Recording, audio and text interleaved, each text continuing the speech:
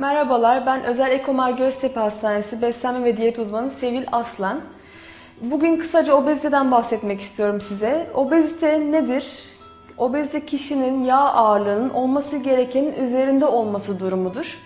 Biz diyetisyenler obeziteyi değerlendirirken ve siz obezsiniz demeden önce pek çok farklı değerlendirme yapmaktayız.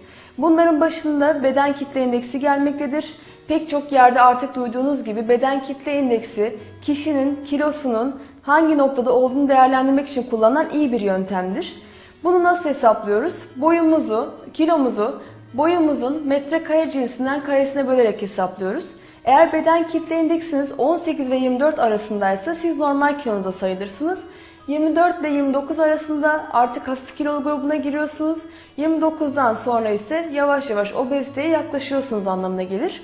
Bir diğeri de beden, bel kalça oranıdır. Bel kalça oranı kadınlarda 0.8'in üzerinde olmaması ve erkeklerde 0.9'un üzerinde olması sizin yavaş yavaş artık obeziteye doğru yaklaştığınız anlamına gelir.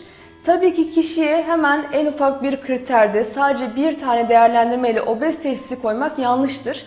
Bunun çok uzun süren ve bazı kan tahlillerle beraber karar verilmesi gerekmektedir.